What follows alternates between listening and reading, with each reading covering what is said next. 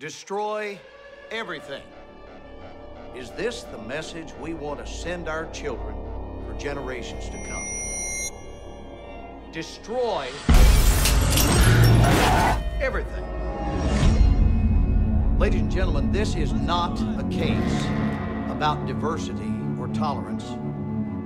This case is about a gang of young men who chose a lifestyle designed intimidate those around them, to challenge authority, and to provoke a reaction from society itself. My entire life, people try to rattle my cage, to force me to explode from the inside out, testing me, trying to find my breaking point. When those punks brought bats and chains, a conspiracy was put into play to kill and maim those high school students. We got plutonium warheads under our feet as we speak. This place is just a big target, ticking, ticking away.